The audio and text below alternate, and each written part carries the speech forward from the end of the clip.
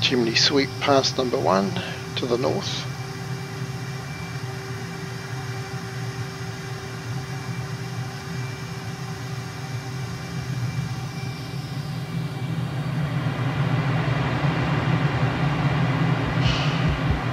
Trying a different approach this time. I'm going to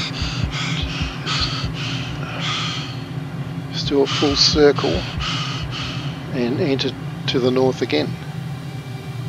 See if it's any quicker than... No, not really. I'm 33 seconds already, so... My hopes of three passes are doomed. Although, at a slower speed I could probably do it. I was going very fast.